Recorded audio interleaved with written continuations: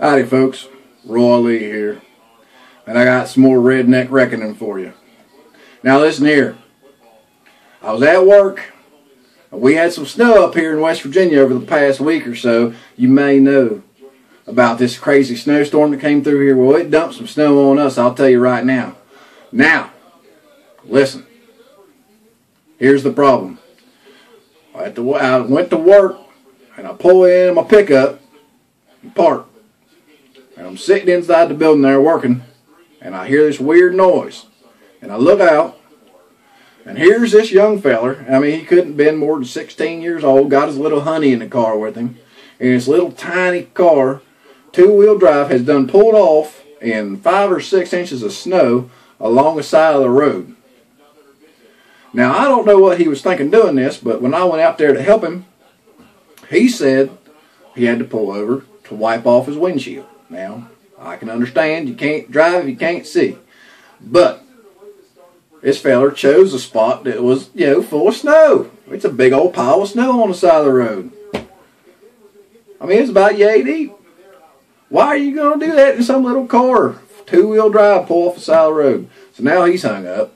And the way I knew he's out there was I just heard this weird noise and looked out. And this fool is running around out here with his foot to the floor, just spinning up the gravels and tearing up the grass and just tearing up the whole parking lot and everything right around there, right in the building. So I went out there with the shovel and I helped him dig her out. And, uh, you know, I said, look, first things first, you done got yourself out here in this grass. Now we got to get you back over onto the pavement where we can dig you out to that pavement there. And then you can get a run at the road and get going. So we got him, got him squared away, and down the road he went. Now after that, I went home. Now that night, we got more snow. So the next day, I didn't go into work. It was too much snow. I have a four-wheel drive pickup. I can drive to work, but hey, you know, there's no sense. Life is too short to be taking needless risks for something as trivial as work. You know, stay home, drink a few beer, and uh, have some fun. Watch some TV, do whatever you do. Anyway, so when I do go back to work, now there's even more snow in the parking lot. And when I pull up, here's this little pickup truck sitting in the parking lot. Now, the parking lot sloped pretty good off the road, and we got these big boulders, big old boulders that are around the edge of the building to keep people from pulling off the side of the road and running into the building.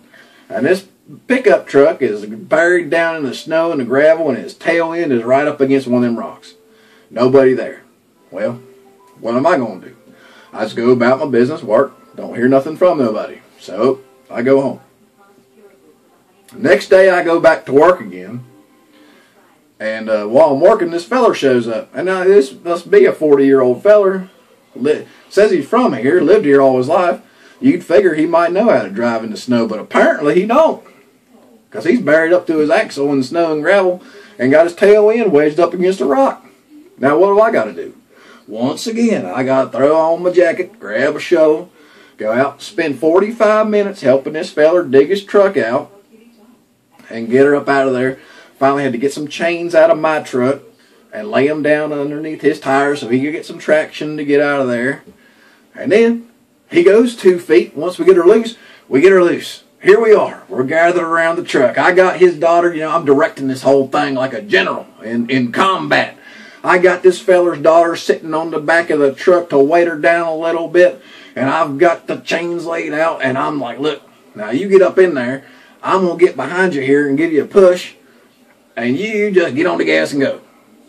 And he gets to going, and he goes three feet and stops right there in the snow. Now what in the hell? So now, this feller that we done was hung up, we got him loose, now he's hung up again. So, of course, nothing can be simple twice. Now the chains ain't working because now he's in a different spot and he's sitting on more gravel. So every time the chains just slide underneath the gravel and it's not working. So, he's got her all dug down in here. Now, he's buried this thing up to the axle in gravel now. So, well, hell, what am I going to do?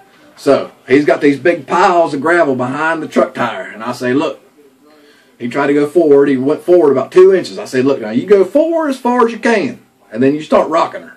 And he looked at me and said, excuse me? Oh, what do you mean rocker? Now I felt like slapping myself in the face. Now this feller has lived here his whole life, don't know how to rock a truck out up that's hung up. So I said, now look, you pull forward to the two inches. You put it in reverse and you back her up until the back tires are on top of the little hill there, or as far up that little hill as you can get them, where you done dug the gravel up. And then you put her in drive and you hit her hard forward as hard as you can go. So he does her. And he gets forward another few inches. Now he's just sitting there. Like it didn't work. And I said, you don't just stop there. You got to put her in reverse. Back it all the way back up to the top of that little hill of gravel you got there. Put her back in drive and hit her again. Well, by God, now it took a few times. But we finally got him going. And what do you think he does? Gets up there a few more feet and stops again. Now, what in the hell? What in the hell am I supposed to do to get this feller out these gravels and, and all this snow and everything? Every time I get him loose, he gets hung up again. Everybody knows when you're trying to get loose or getting hung up, you don't stop driving. Once you start moving, you don't stop until you're on solid ground again. You don't stop. I don't care what happens. And then the other rule is if you're hung up, you should know how to rock yourself free. How you gonna be driving around the snow and stuff? You don't know how to get out. But anyway, so I finally get this feller again. You know, me and me and his daughter climb up on one side, and I climb up on the other side. We're bouncing on the back of the truck trying to get this sucker a little bit extra traction. And I looked at him. I said, "Look, buddy, you get this sucker moving. You don't stop. You get out there on the road and you go." and then you can swing back around here and I'll throw your shovel in the back of the truck. Well, by God, we finally got him out of there. And I called up my buddy and I told him about the whole situation. And he said, and I agree with him, some things should just be on the driving test. They should take you in a vehicle out there into a sand, you know, sandbar or something and get her hung up and then say, now, here's the deal. You done parallel parked your car you done drove it around town for us. You done uh, demonstrated knowledge of the seat belt and all other contraptions that's in there to keep you from killing yourself. Now, we'll give you your driver's license. We'll give it to you for free. We won't even charge you for it. If you can get this here vehicle un unstuck here. Get her unhung up. Get her out of this mud hole. I know many a good old boy, the 13 year old, could walk out there and jump right in and say, All right, here we go, and get you right out of there.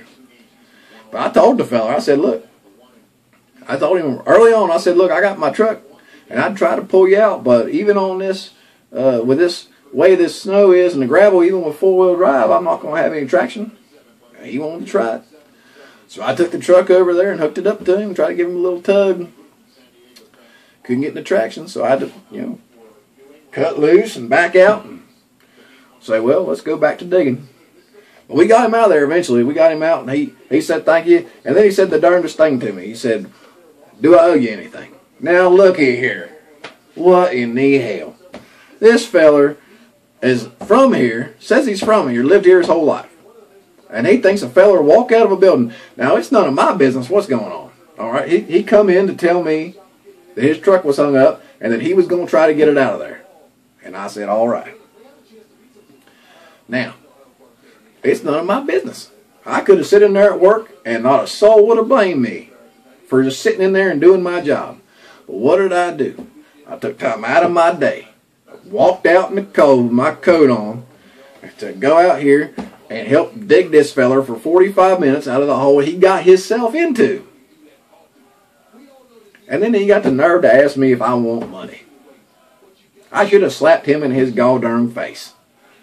Now, I tell you what, that's just, I, I don't know what to say, fellers. Look, if you're from the city, I'd give you a pass. You fellers don't know how to drive in the snow because you're in the city. If it gets snowy, you just take the bus or, you know, the, the, whatever the train is under the ground, the steam cars under the ground. You take those things. But you know, and if, if worse comes to worse, you just walk to work because you're in the city. It ain't that far. But us fellers out here in the country, you got to know how to do this kind of stuff. I don't know. 40 year old man can't get himself unstuck. Don't know how to rock a car. Don't know, don't know enough to keep going once he gets loose. I don't know what it's supposed to do for you. I mean, I normally I just blame it on on watering down a society and then yuppies spreading to the country and all this crazy stuff. But I mean, you can't. Feller's older than I am by excuse me by a good 15 years. Well, that's my story this time, and uh, it's a true story too. You can call up Chuck or go check him out on YouTube and ask him. Send him a message. Ask him if old Roy Lee didn't tell him about the feller that got his truck hung up out there in the snow. You see. Anyway, that's all I got for you this time, I reckon. You fellers take it good.